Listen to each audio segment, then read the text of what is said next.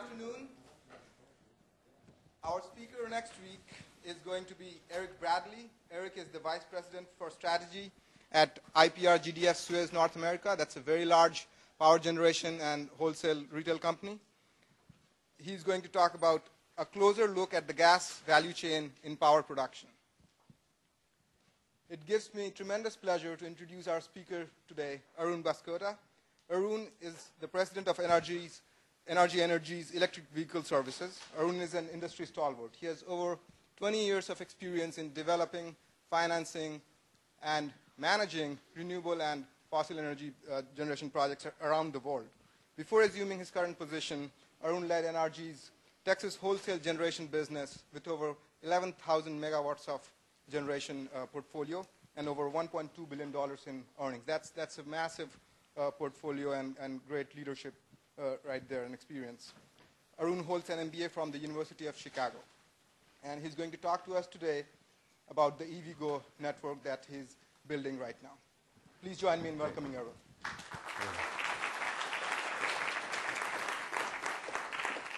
Thank you. Thank, thank you, uh, Varun. Can, uh, can you hear me at the back? Yeah, pretty good. Okay. So it's always good to be here at the UT. Uh, the Longhorns are very, very well represented at both NRG and EVgo. And in fact, at EVgo, I've got my uh, VP for products, uh, my general counsel, my head of marketing, and my head of uh, finance and administration are all Longhorns. So I have to listen all of the time to your football stats and basketball stats and, and you name it. So I, I, I, almost feel like a Longhorn myself. Um, so uh, I want to talk a little bit today about uh, a couple of different kinds of uh, issues, and, I, and, and please give me feedback at any time, right? So uh, the first is uh, really talk about some of the policy issues around electric vehicles. Um, and then I want to move to more like you know, what are what is a startup business doing in this kind of an industry, and how do we how did we roll out our business model as a startup industry? So those are going to be really the two uh, kinds of themes uh, that I'm covering. And if, if, folks have a particular interest in anything else in the energy sector, I'm, I'm more than happy to uh, cover that as well. So just to kind of get a sense of the audience, how many have actually driven an electric vehicle? Wow. Okay? It's pretty, pretty uh, uh, significant. I mean, when, when I started in this uh, business two years ago, you wouldn't see any hands raised. So this is, this is actually pretty significant, but I guess part of that is also being a uh, Austin audience, right? Um, so electric vehicles. There's already a, quite a number of models out there, okay? Just to put things in context, every year in the US, we sell between 12 to 16 million electric vehicles. Okay? We are now around uh, 18 uh, months into electric vehicle introduction. And last month, 0.5% of all cars sold were electric vehicles. Now, is that large? Is that small? If you listen to the media, you'll get all kinds of feedback, right? But if you want to keep that in context, it took hybrids five years to reach half percent. So in comparison, actually, electric vehicles are taking off pretty well. Okay. The other thing that gives me a lot of optimism is that there's a lot of industry investments in the sector. Okay. And when you look at when you look at the electric vehicle value chain, you can really look at it in, in, in the form of like four different buckets. So you have electric vehicle we call them OEMs, original eco manufacturers, the Nissans, the Teslas of the world, they've already invested over $10 billion. Okay? The other major part of the value chain is, are, are the battery original equipment manufacturers. Uh, from uh, Dow to Johnson Controls to Samsung to LG, you name it. They've invested another more than $10 billion. And then you've got another space of charger manufacturers from GE to ABB to, to, to the smallest mom and pop uh, startups. And there's around a billion dollar plus investment in that space. And then we occupy a pretty interesting space that's more like the owner, manager, operator of electric vehicle infrastructure. Okay? So what gives me a lot of optimism is that there's a lot of uh, investments being made into that space. Unlike back in the 1990s, before you guys were born, when there, there was EV1 and there was only one manufacturer, General Motors, and so there was a lot of question about whether that's going to survive or not. But now, electric vehicles are here to stay. The only question is how fast will the adoption be? That's really the only question. Our projections are that you know, by the end of 2014, there's going to be more than 30 different models of electric vehicles on the road. And by the year 2020, when the US is projected to sell 20 million cars a year, projections are 2 million of those. So around 10% of those are going to be electric vehicles. But who knows, right? I mean, it's a new space, a new um, uh, industry, so a lot of more questions than, than answers, really. And, and so let me uh, go into a couple of policy issues that I think is very important for folks to know about the electric vehicle space. First, you might be surprised to know that electric vehicles already today, the first generation EVs are cheaper than a gas gasoline car. Okay? Now, key difference, you got to look at the five-year cost of ownership. Okay? So if you look at sticker price, cost of maintenance, and cost of fueling, and this is a study from Bloomberg, and Consumer Reports has done st uh, studies on that. A number of other independent sources have done studies uh, on that. Already the first generation electric vehicle, when you look at a five-year cost of ownership, is cheaper than any other car, even cheaper than a Toyota Prius hybrid, which everybody thinks is a, is a fairly cheap uh, form of transport. Now, what is really amazing when you're in the space is how challenging it is to change people's mindset. When people have been buying a car for a hundred years based on a sticker price, for you to now go out there and convince people that you should be really looking at it from a cost of ownership perspective, and you need to factor in maintenance costs and factor in your fueling costs is an amazingly difficult challenge. Okay? I mean, I'll just, I'll just give you an example on fueling cost. Okay? If you drive 12,000 miles in an internal combustion engine car that says, let's say has 20 miles per gallon uh, efficiency, so you need 600 gallons a year, right? Save $4 a gallon uh, gasoline, $2,400 a year to drive those 12,000 miles.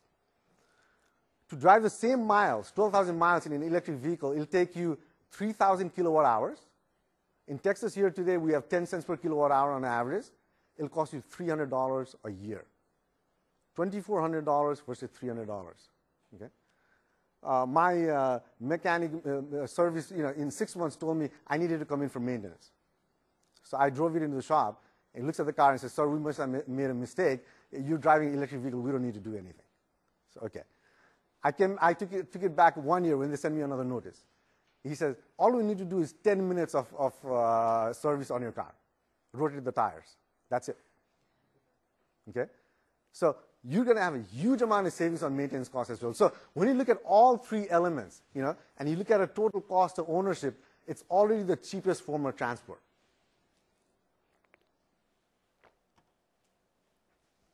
Second, uh, um, well, this is along the same lines. And, and one of the reasons for that is you look at electricity, electricity cost. Oops. Doesn't work for some reason. Yeah. Yeah, it works here, but not on the screen, I guess. So you look at the blue line, right? That shows you from 1976 how stable electricity prices have been. And you look at the red line, and that's your gasoline prices. Okay? Huge amount of spikes. And the basic reason for that is that gasoline is not a market price. Gasoline is a cartel price. Okay? There, there's a bunch of large producers who sit down together in, in, in a dark room, smoke-filled room, and they decide what is the price I want, and based upon that, how much should be produced kind of bring supply and demand into balance at a pre-designated price. Okay? And where they are today is that they think $100 is the kind of right price per barrel of oil. And that's the reason that why you see anytime there's a slight issue, whether one refinery goes down or, or, or a tanker goes down or something, you see huge spikes it takes time for those same folks to get back into that room and reallocate the quotas, right? And that's why you see supply-demand imbalance because gasoline is not a market price. It is a cartel price, okay? Another huge issue around policy issue around uh, electric vehicles, uh, air emissions, uh, environmental, whatever you might want to call it. We don't talk about greenhouse gas anymore. We don't talk about climate change anymore. Uh, it's, it's, it's become a huge political, uh, you know, football out there, right? But I've gone around to many, many cities and towns. Air emissions is a real issue. Okay? You talk to mayors, you talk to anybody on, on the, in, in the city council, air emissions is a real issue. And most cities, 40 to 50 percent of all emissions are tailpipe emissions. Okay? And they not only uh, create issues about health, uh, but they're real jobs. Houston, for example, has still not gotten over the fact that we lost the Toyota plant to San Antonio. And the only reason Houston lost that Toyota plant to San Antonio was because we could not meet the air emission standards. And another factory was not allowed. Okay? So air emissions to people in the city council, mayors, all of the policymakers at the local city level, it's a real issue. Okay? And I'm, these, are, these are figures from uh, EPA and Federal Highway Administration and, and uh, other sources. And the argument has always been, yes, but how do you produce the electricity, right? And this is a, what we call the well-to-wheels analysis. So you look at how do you produce gasoline, you know, uh, transport it, refine it, uh, truck it to your local gas station, fuel it, right? Similarly on gasoline, if it's gas-fired, you, you, you, know, uh, exploration, production, uh, transport it, uh, it, it, to the power plant, burn it, and then you, you get your electrons, right? So when you look at a well-to-wheels analysis, even an electric vehicle, if the, your source is 100% from coal, is still cleaner than an elect, uh, than an uh, internal combustion engine car. Any electric vehicle is cleaner. Okay. Now in Texas, I don't know if you know this or not, but we have the most wind, more wind than any other state. We have 10,000 megawatts of wind in, in, in uh, Texas. And wind blows mostly at night. And electric vehicle charging is done mostly at night. So more than likely, you know, there's very, very strong correlation between nighttime wind production and nighttime electric vehicle charging. So you could be actually be on this spot, uh, the solar wind hydronuclear source, where you could be you could be emitting zero uh, uh, greenhouse gas emissions uh, from your electric vehicle. Okay? So any electric vehicle, even when powered by 100% coal, is cleaner than a gasoline car. This is, this is a research from Oak Ridge National Lab that shows cost of oil dependence to, to the U.S. economy. Okay? More than $500 billion worth. There was another amazing study uh, from RAND Corporation, which is actually very well known in the defense circles. Their analysis was that we as a country spend $75 billion a year just defending our oil lanes, just protecting our oil lanes. We're spending $75 billion a year. Okay? And then you, you uh, on top of that, you, you look at the dislocation losses, loss of potential GDP. Their analysis was over $500 billion last year. So we're sending more than a billion dollars a day outside our country every day. So it's a major national security issue. I mean, there's been a lot of books that have been written out there, and I'm not trying to, you know, uh, go on one side or other that, that show that every war that's been fought has been over natural resources, over, over fuel so far. Okay? So this is a major, major issue from a national security perspective. So let me get away from the policy issues. I can come back to any questions you may have on the policy. So let me go around to more corporate, okay? Uh, corporate and startup. And I, I, understand my CEO was here earlier this year, so I'm hoping I don't say anything different from what he said. So uh, we are a large energy company of Fortune 300 company, right? And it's, it's a very fascinating, fascinating uh, company in, in, many ways. And, and you may hear all kinds of things about how difficult it is for these large energy companies to change. You know, you've got these assets that last for 40, 50, 60 years. You cannot turn on a dime. But this is an example of a company that has changed. Okay? Three years ago, only three years ago, every one of our dollars came from carbon generating sources because we are a generating company, right? You turn your lights on, you, it needs to come from somewhere. We, we have around 25,000 megawatts of generation. In, in, in, in a, another way to put that, that would power maybe around 20 million homes in the United States, okay? So we're a large generating company. And our CEO decided at that point that, look, there's a lot of changes coming in, both from a, from a consumer end, uh, folks that want greener forms of energy, as well as from uh, regulatory and policy perspectives. And we don't want to be in a, in a, fetal position waiting for that to happen, but we, we want to make the change happen. And just three years ago, we went down this path and said, we want to maximize our earnings from non-carbon generating sources. So in just those three years, today, we're the largest investor in the United States in solar. Okay? We have invested more than $1.5 billion in solar. We own 500 megawatts of wind. Uh, we own a company just right here, headquartered in Austin, called Green Mountain Energy, which is owned by NRG as well. We, we sell only green, uh, green products. Okay? Uh, and then finally, we have these two companies, EVgo, which I'll talk about more in detail, and EV2G, I'm not going to talk about that more in, in, in so much detail, but EV2G is really something vehicle to grid. It's not going to be here today. It's not going to be here tomorrow. But you think about two different facts, right? A car, on average, drives only 31 miles a day, okay? Even today, people talk about range anxiety. The batteries today are already 100 miles. So you already have excess generating capacity in your battery, right? You combine that with the fact that on average, a car sits parked 23 hours a day, okay? And now, if you plug that car in you suddenly have you know, potentially millions of generating sources. Okay? The technology is not challenging. Okay? In Japan, the vehicle to home uh, already works, vehicle to grid already works. The technology is not the challenge. But there's going to be a lot of regulatory and a lot of commercial things that need to be worked out for that to really take off. So, but I can see in five to seven years that your car, your electric vehicle, is not only going to be a, a, a, a cost item on your ledger, but you could be making money out of your electric vehicle. Okay? Already today, and EV2G is a joint venture that we have with the University of Delaware. They had done a lot of research over 20 years on, on that space.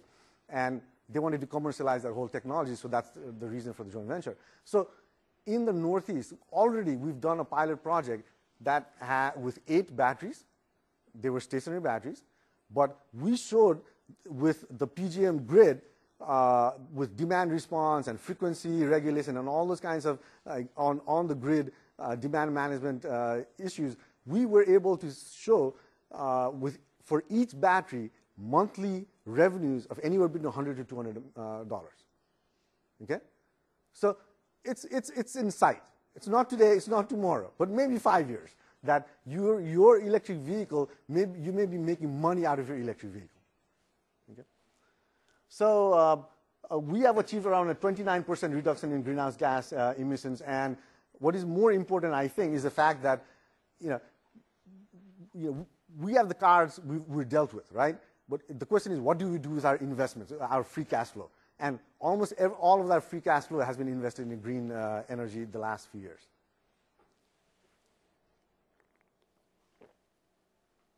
So what is EVgo? This is my second startup. My, my first startup was in the solar space, uh, and it's fascinating difference. Uh, the solar uh, industry was really financed by uh, private equity. This is a startup within a large Fortune uh, 300 company.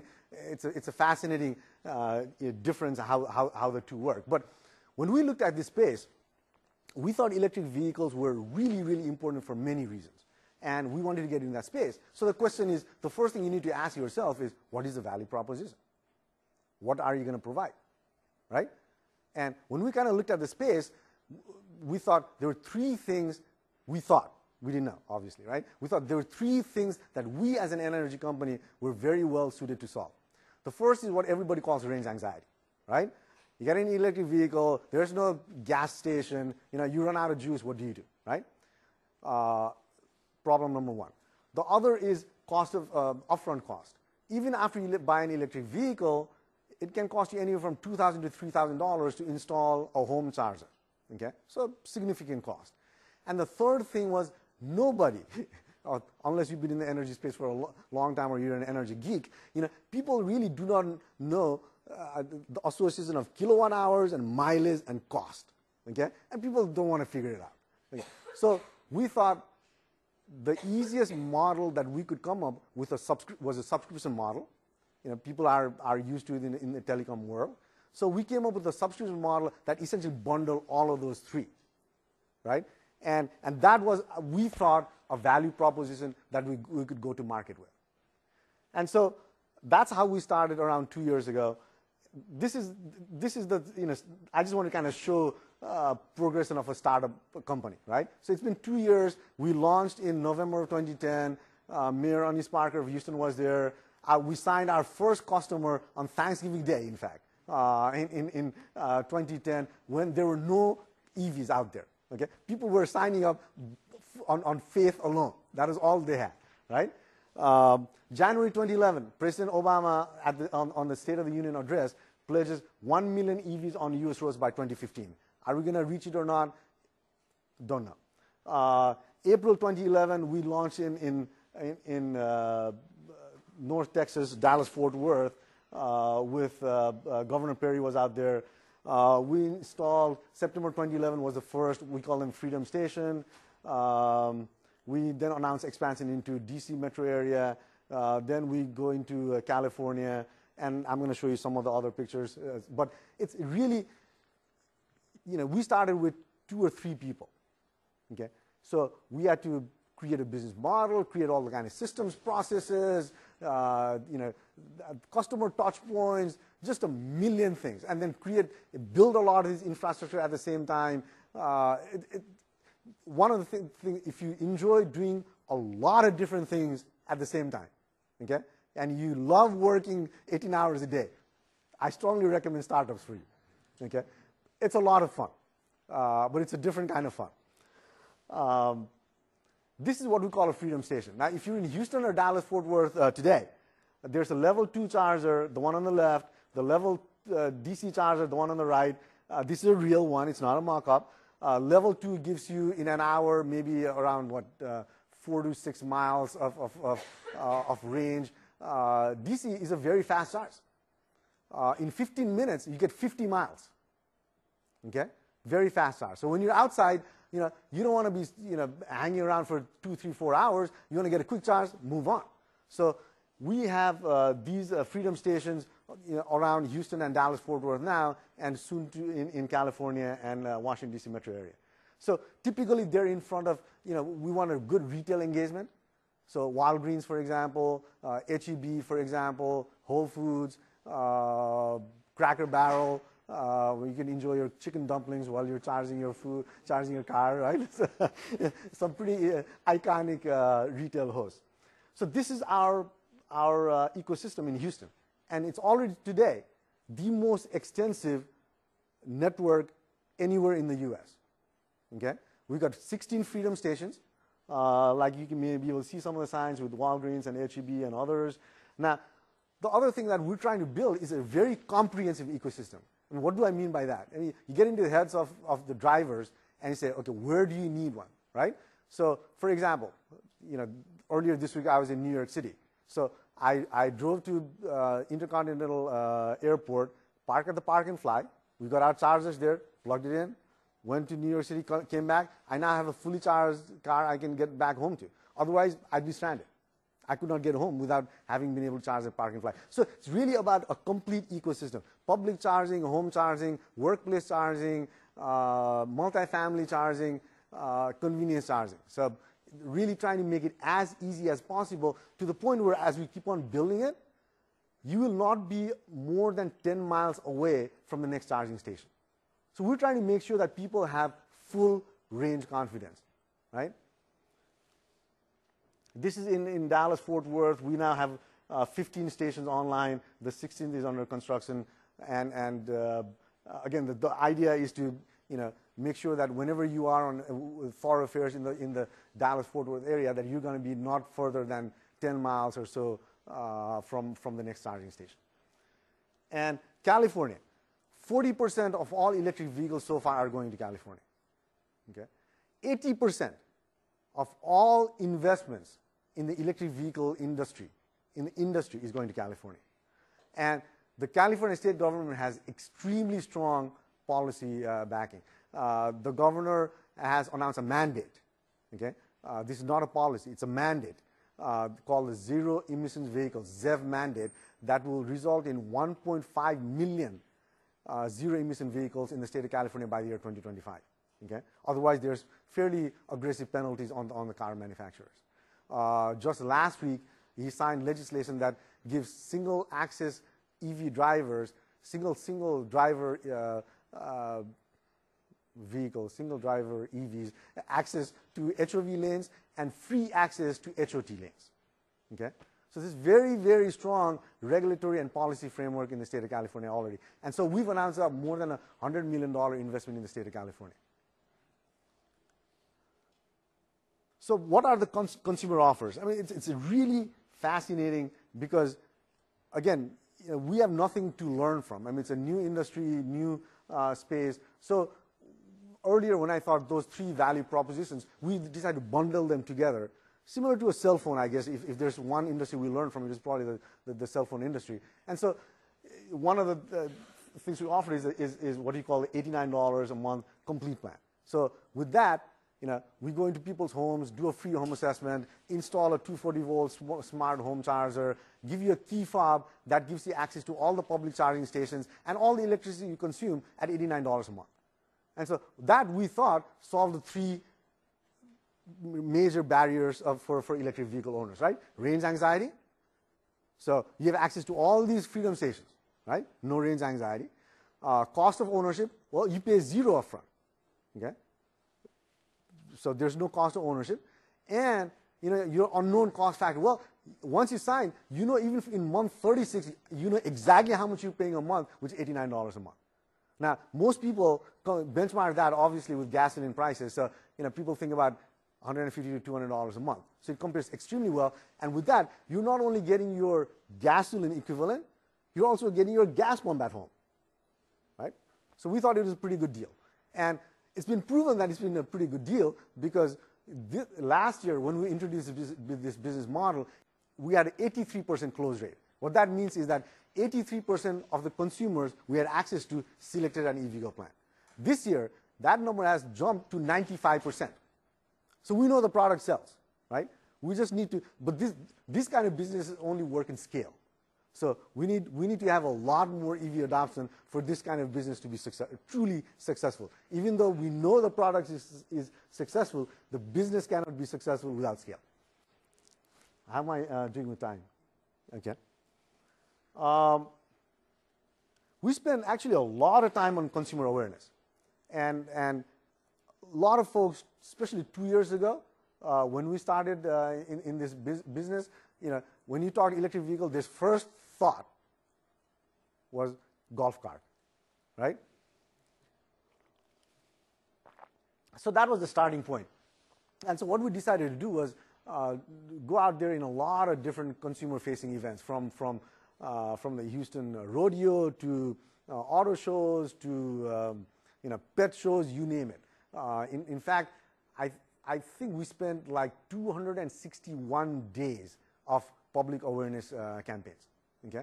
And what we typically would do is take what we an EVgo 10 with a couple of EVs, you know, usually a mass vehicle, electric vehicle like a Nissan Leaf or, or a Chevy Volt, and we take a couple of chargers and our network map and just talk to people, you know.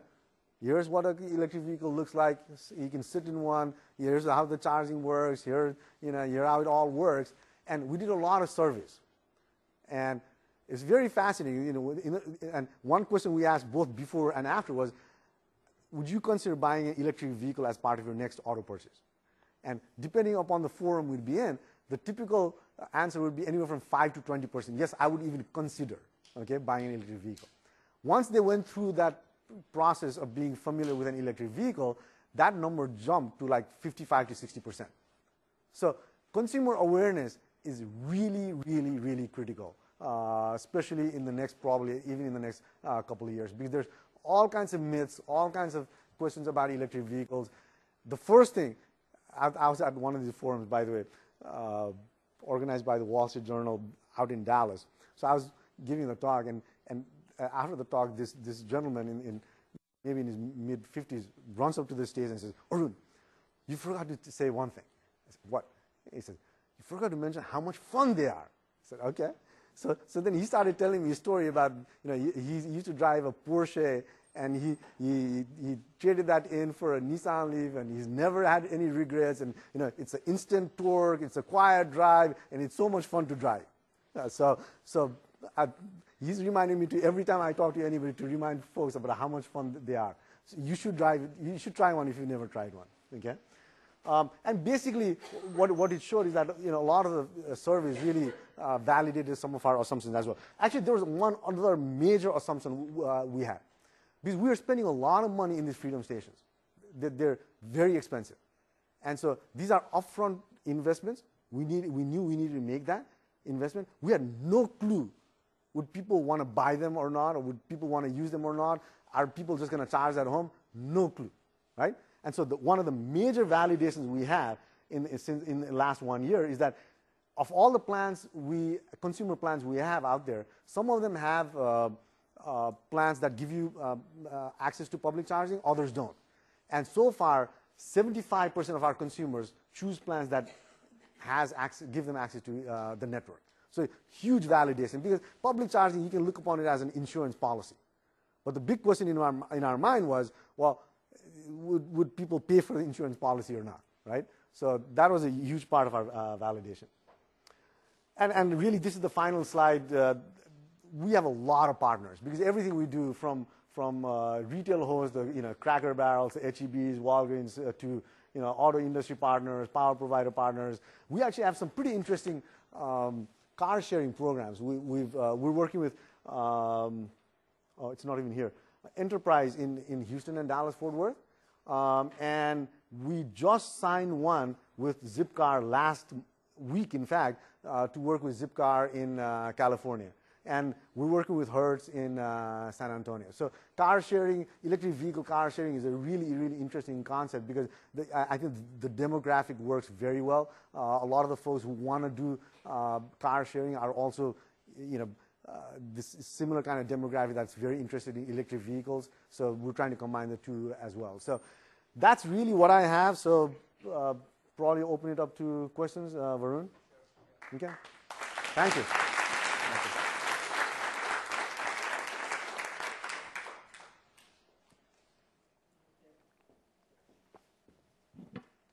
Please speak your questions into this mic.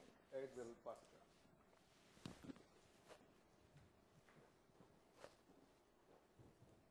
Yeah, thanks for the talk. I, I guess my question is kind of uh, something you alluded to at the beginning about behavior change.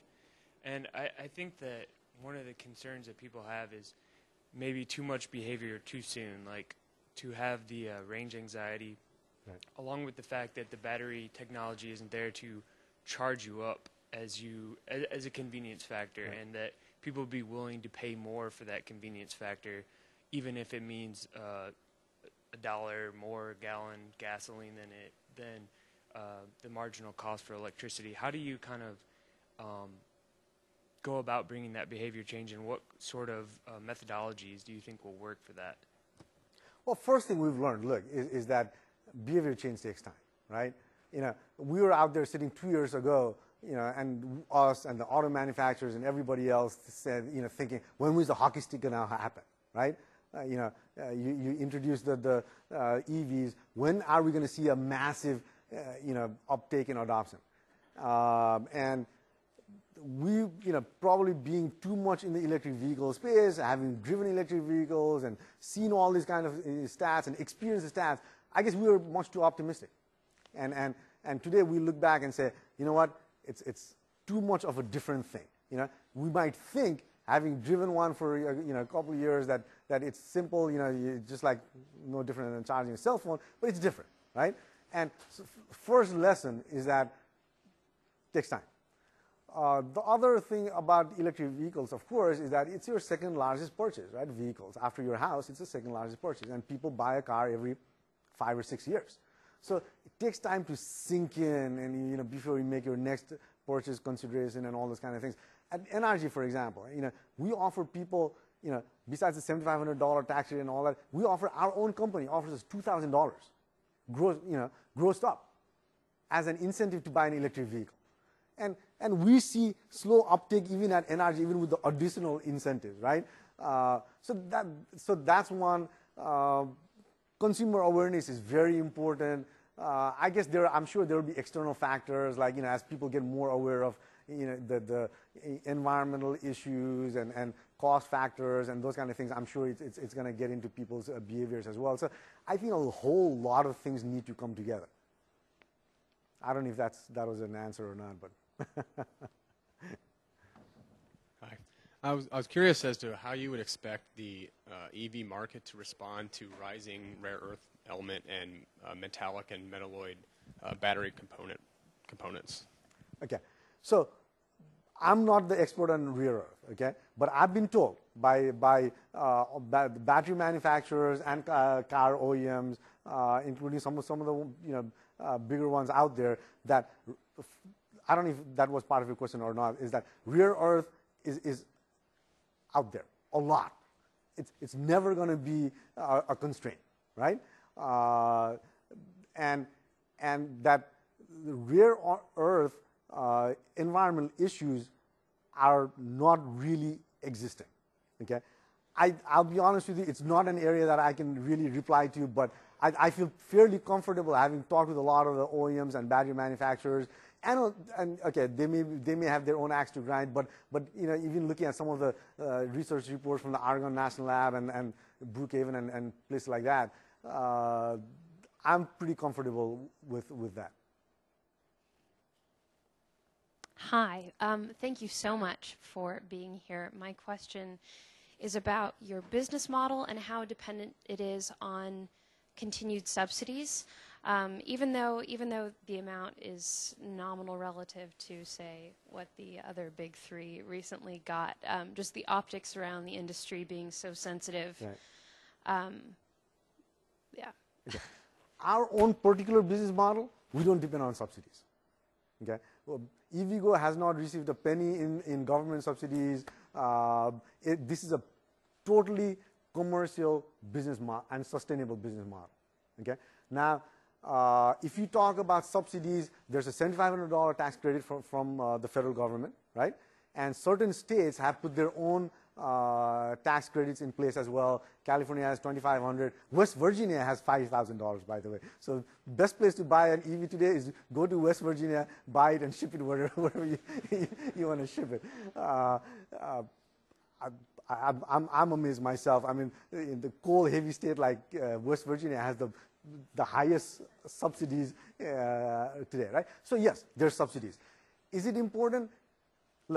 I mean, in a nascent industry like uh, like EVs uh, industry right now, sure, it's important. Any dollar helps. But I think the way the federal government has done it is that there is a sunset, right? So it's the first 200,000 cars from uh, EVs from any manufacturers. So manufacturers know that it's not going to last forever. But what it's doing it's, it's incentivized them to produce electric vehicles as fast as possible, get down the, the, the economies of scale curve, and you know, bring down their costs. It's a huge incentivizer for that.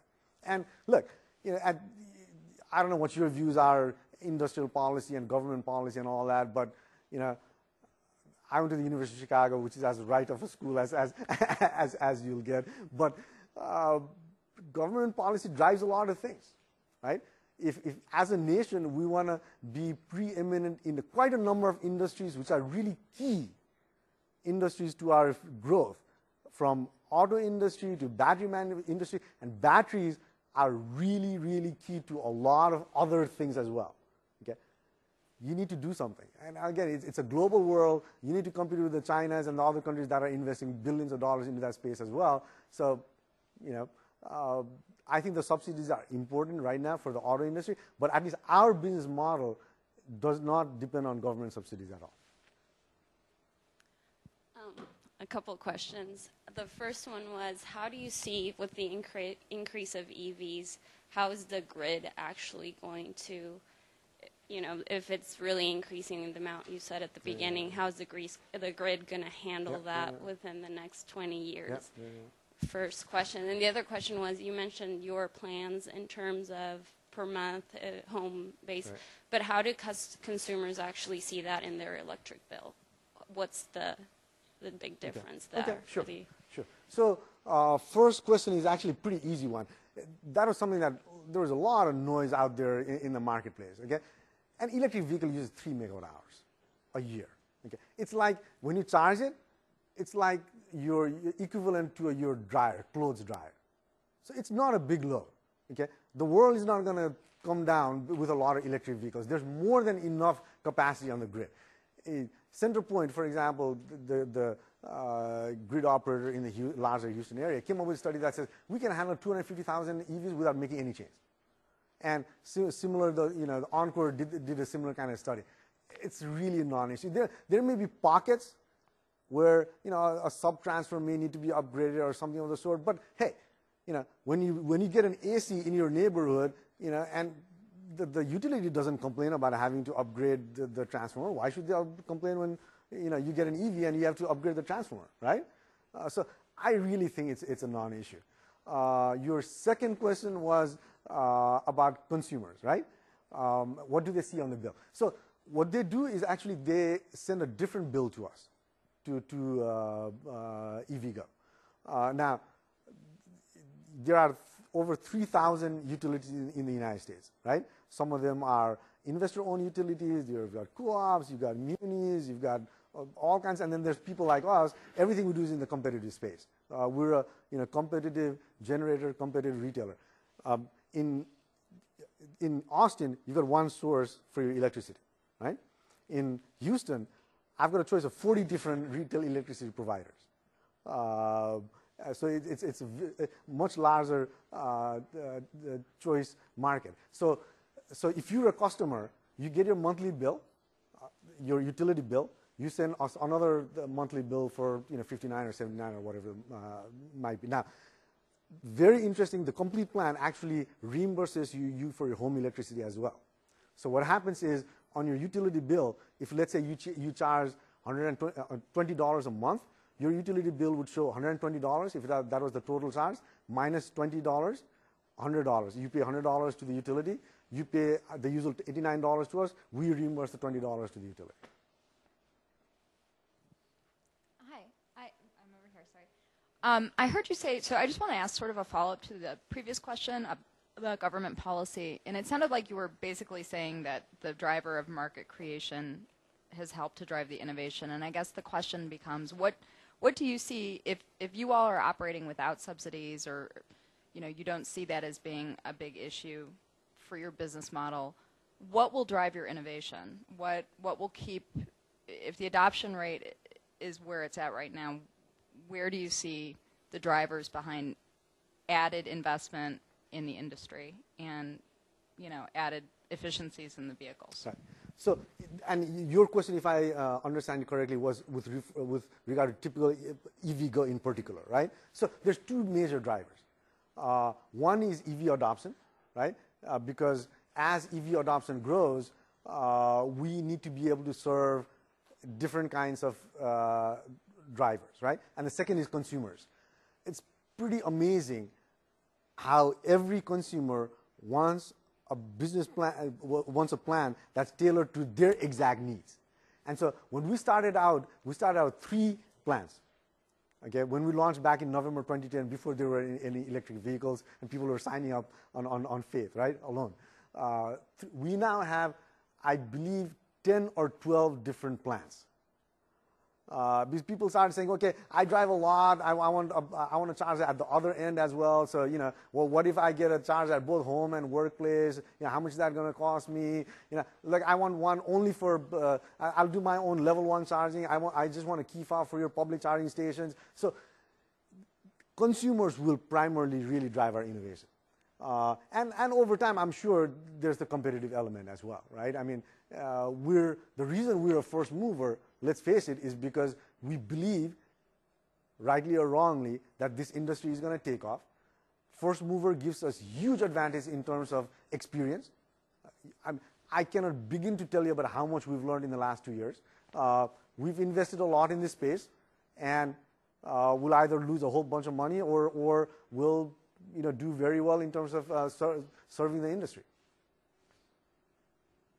But it, it, is, it is a major risk. It is a, it is a large capital investment we're making.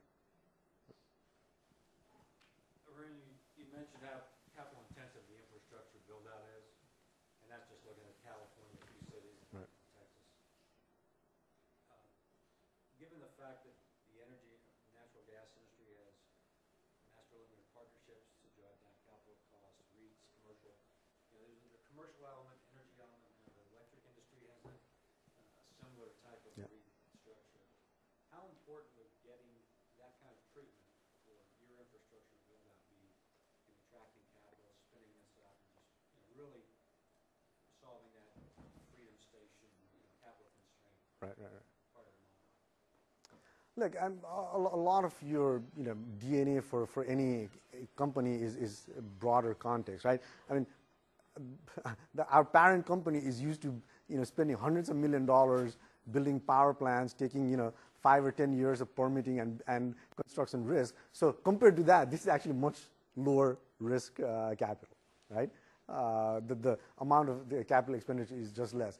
If I understand your question correctly, Richard, I mean, it was over between the electric industry and the natural gas industry, or if, if this went to major cities, Denver, right, right, right, right, right, right. and did it in much higher penetration of stations, Mhm. it's tens of billions of dollars of capital. Yep. And so how do you attract enough capital at, that requires the right rate of return?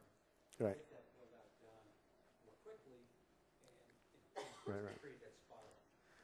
I'm, I'm pretty confident that if that investment in the upstream side continues to happen, more on the electric vehicle uh, side and industry and the, and the uh, battery industry, I'm pretty confident that there's, there's going to be enough investment on the downstream side.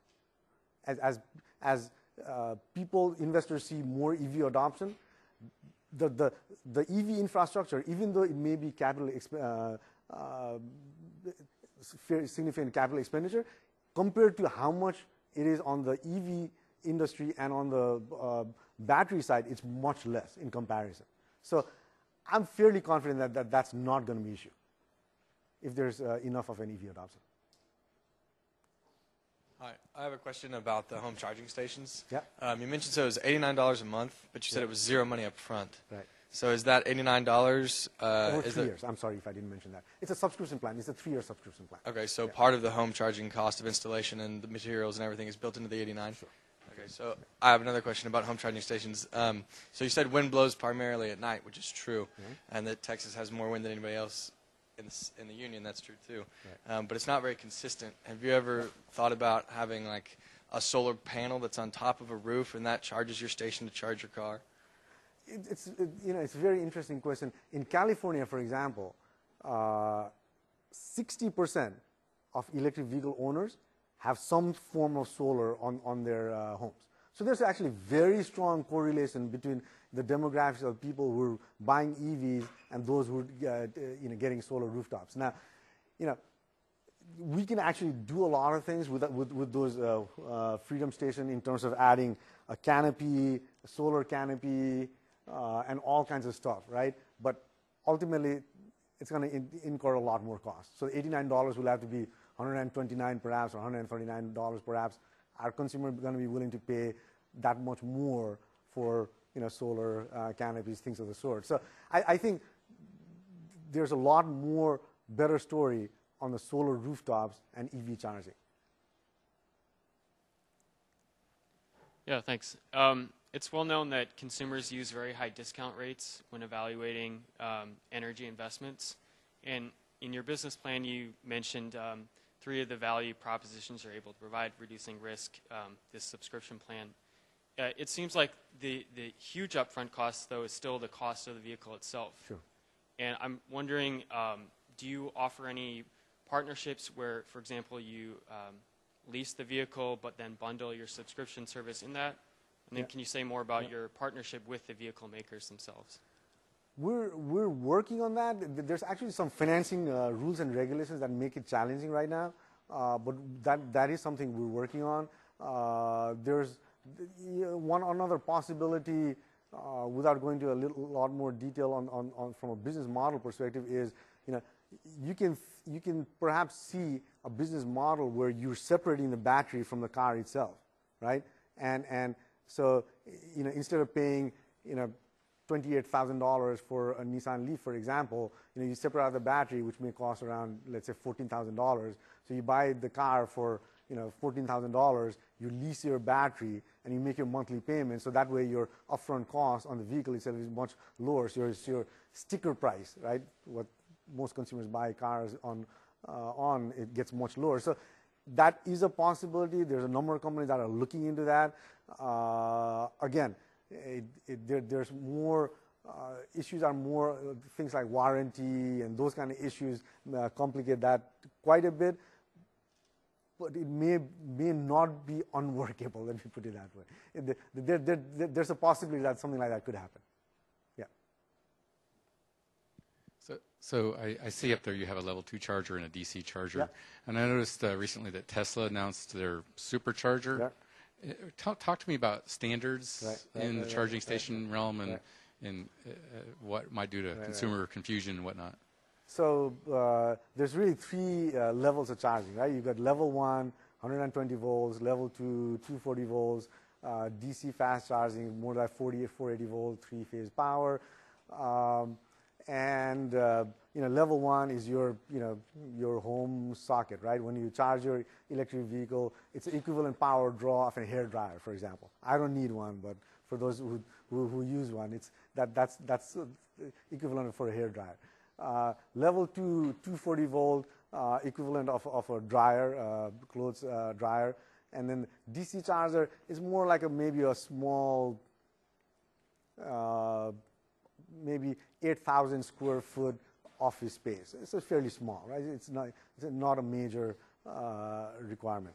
Um, and level two is standardized. There's a standard called J1772, so everybody uses the same standard, right? DC charging is where it's getting really interesting. And it's almost like your, for those of you who may remember, it's almost like the you know VHS versus Betamax uh, wire that was there in Word was is like the, for those of us who remember, maybe in the 80s, maybe. uh, and and so right now there's there's a, the Japanese have introduced a standard called CHAdeMO. Uh, there's over 8,000 DC chargers in Japan, so there's there's already a lot, you know, big uh, uh, number out there, and we're just starting here in the U.S. So that's the only standard that's available. So we're right now just uh, putting in CHAdeMO standard chargers. There's a Society for Automotive Engineers which is meeting right now still, uh, which is planning to come up with a different standard. Uh, we don't know yet exactly what that standard is going to be, and even more important, when EVs with that standard ports are going to be introduced, because cars, it takes at least three years from the time you finalize the design on a car, you freeze it, and then the whole process starts. Supply chain, manufacturing, all those things, it takes three years. So, so the cars that are going to be introduced in 2015 have been frozen already and have gone into the production process. So the earliest that we can think an electric vehicle with the SAE standard is going to come into the market is maybe six, 2016, right? So our plan is to just go with the CHAdeMO charger. Again, our business model is to try to serve every electric vehicle out there, right? So what we've done is we've actually plumbed this uh, Freedom Station area with all the wiring for a second DC charger as well. So if the second, uh, if the SAE standard, uh, you know, becomes a predominant one, we're just going to put it on another uh, DC charger. Makes it problematic, but it's the way it is. So uh, you mentioned a, you put a lot of emphasis on cu- customer awareness and behavior change, and it seems like consumers are really driven by convenience and fear. And so when you look at uh, the convenience, the value proposition of, of what's more convenience, convenient between a, EV and a traditional conventional uh, gas car. The last question uh, being about standards. Um, it seems like standardization would be kind of would, would lead to the most convenience, right? Um, I know that y'all aren't on the manufacturing side, but working with these companies, with y'all's partners, did did you ever look at the Better Place model, or, or were there any conversations about that where Mm-hmm. um, you know you're switching the batteries out as opposed to charging them, so that it's the same thing as pulling into the gas station, switching the batteries and going? Mm-hmm. Right, right. So uh, the Better Place model, for those who may not uh, know it, it involves essentially switching the batteries. So, uh, so they've got they- have a large you know battery switching uh, infrastructure where you drive in, um, and within I believe it's like five minutes, they uh, the machine takes out the existing battery, uh, puts in a fully charged battery in place, and off you go the issue with, with that model is really twofold. Uh, the first is that that infrastructure is extremely expensive. Okay, you know, if compared to this, think about you know maybe 10x or 20x. Okay, it's it's very very expensive. The other huge issue, and I come from the energy space, so I'm learning about the auto industry myself as well, right? So, so somebody told me a very interesting story. Uh, they said, you know, back after the Second World War, uh, some of the auto manufacturers sat down together and decided, you know what, if we can standardize some of the key parts, we can all enjoy the economies of scale and pass on the savings to the consumer. Great idea, right? And so they started with, with uh, the, the headlights, right? Pretty simple, okay, nobody's to you know, go to war over headlights. Well, they've been meeting since 1955. Okay? They cannot standardize on headlights, right? So think about now the, the, the, trying to standardize about you know, the size of the battery, where that battery is going to place in the car, how that battery gets taken out, what kind of battery gets back in, and the GMs and the Fords and the Toyotas and everybody saying, okay, we're gonna, all going to do according to Better Places specs, right? That's the challenge. This one, you don't need to do anything different. You don't have to, you, you know, you, you don't have to, the, the auto manufacturers don't have to go to war with each other to do, for, for this. that was an amazing discussion. Let's thank Okay.